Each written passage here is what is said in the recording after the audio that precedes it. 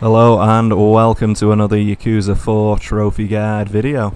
In this video we're going to talk about sub-stories, specifically Saejima, and specifically Chapter 3. This is going to be part 3 of my Chapter 3 uh, sub-story guide.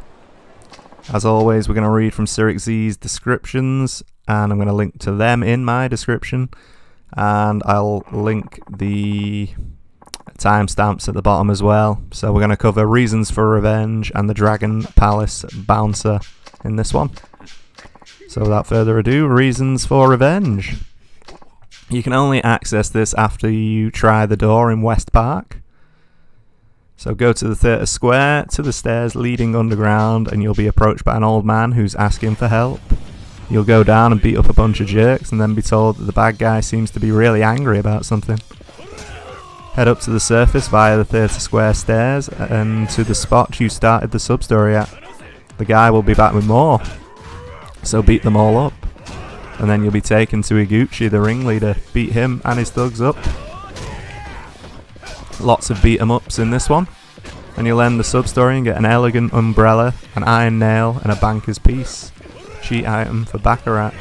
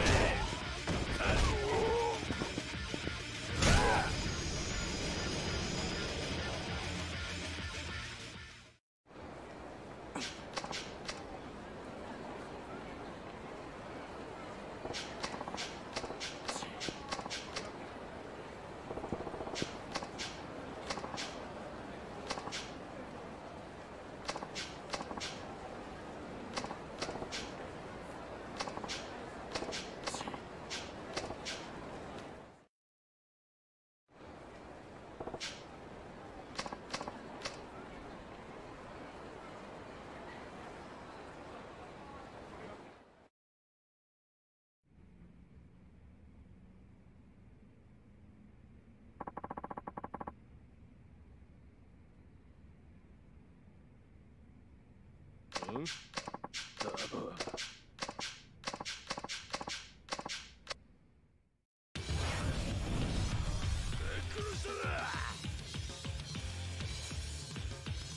だ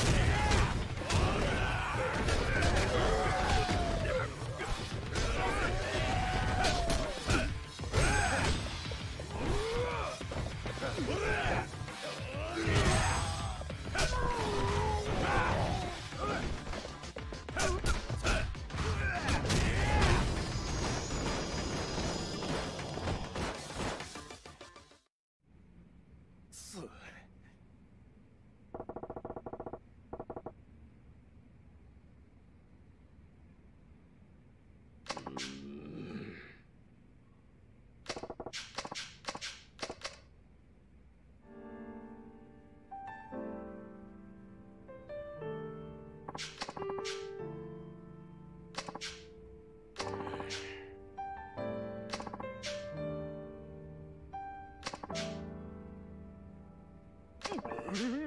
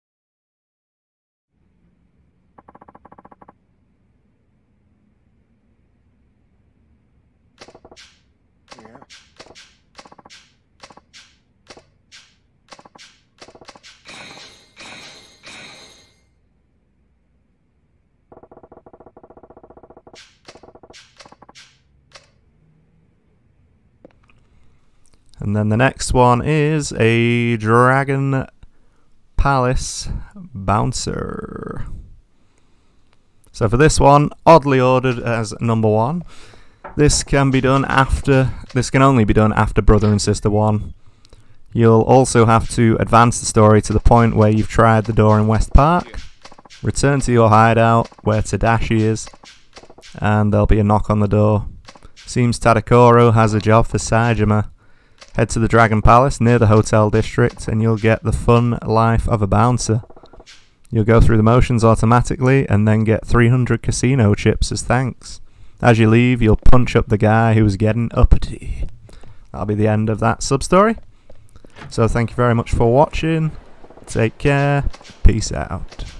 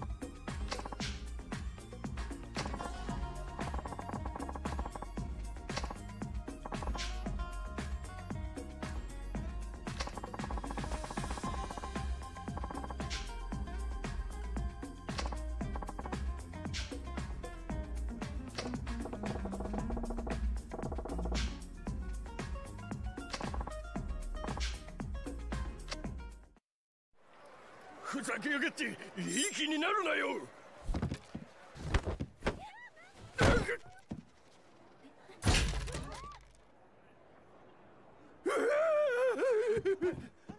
兄 貴